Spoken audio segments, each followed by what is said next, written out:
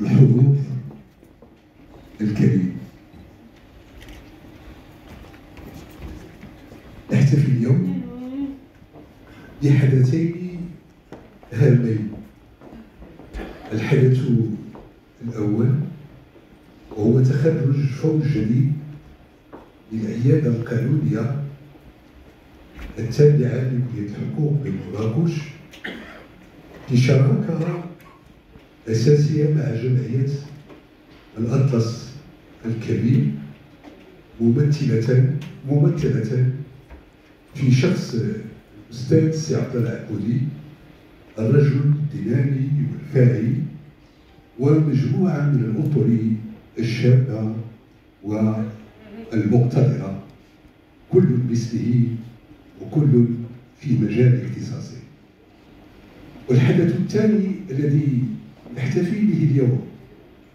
وهو الذكرى الثانية والعشرين لتأسيس العيادة القانونية بكلية الحقوق بمراكش وجامعة القادرية أول حدث كان سنة 2001 طلحة الدكالي مدير العيادة القانونية للدراسات والأبحاث بكلية الحقوق بمراكش نجتمع اليوم احتفاء بتخرج فوج جديد للعيادة القانونية بالشراكة مع جمعية الأطلس.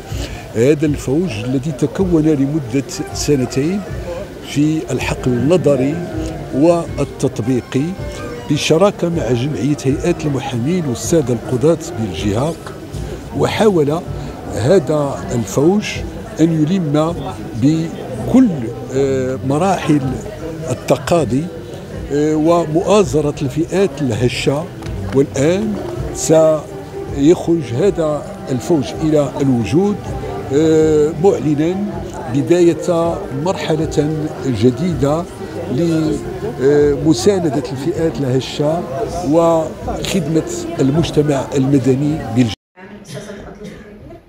اولا تنشكر رئيس جامعه القاضي العياد على الحضور ديالو اليوم وتنشكروا العميد ديال الكلية ومدير ديال العيادة القانونية وجميع الأساتذة الكرام على الحضور ديالهم وتنشكروا المجتمع المدني على الحضور والطلبه الكرام اللي صراحة ما دوزناش معاهم القليل في إطار العيادة القانونية.